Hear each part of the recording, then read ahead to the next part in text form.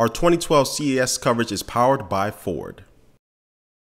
Hey, what's up guys, Soldier Knows Best here. I was able to get my hands on the new BlackBerry 2.0 software for the BlackBerry Playbook. And this software update is bringing some things that people have been wanting for over almost a year now, um, ever since the first Playbook launch. And this is kind of inexcusable. I mean, they, they shouldn't have taken this long to bring these type of features. I'm talking about features that are so futuristic that you'll blow your mind. Yes, I'm talking about an email client, a calendar client, and things like that um, these things are finally coming to the playbook. In all seriously, I mean seriousness, I, have always liked the playbook. Uh, people have gotten on me because of that. I was all, I've always been a fan of the playbook. I love it. I have it in my top five personally because of the design, the form factor, and the way the OS works. Uh, but not having these core features was just just didn't make any sense. And they actually had the features, but you had to have a BlackBerry phone with the BlackBerry Bridge and all that stuff to be able to get them, which is just stupid.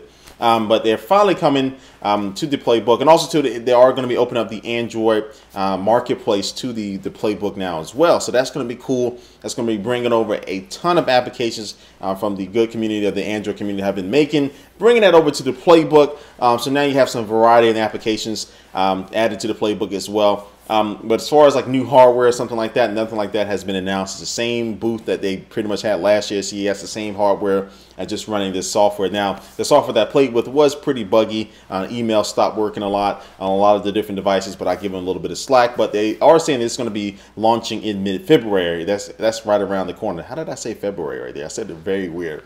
Uh, but in mid-February, this new 2.0 update is going to be coming out to your playbook if you do so happen to own one. If you don't, they're selling them at really good low prices now. They're having kind of like having like a little fire sale. I think the lowest I've seen them over the past couple weeks is like 200 bucks, so that's not bad at all. But anyway, I digress. But this is a just a little quick look at the new 2.0 software update for the BlackBerry Playbook. And thanks for watching this video, guys, and I will catch you later. Peace. Now, word from my sponsor. By using sync services with turn-by-turn -turn directions, you can get where you want to go. The system delivers voice directions to your destination over your audio system speakers. You can even plan your route from your home or office by looking up directions online and using the send menu on the site. Then just hop in the car, Sync will prompt you to download the directions to your chosen destination and then read them to you turn by turn with your eyes on the road. Thanks to Ford for powering our CES coverage.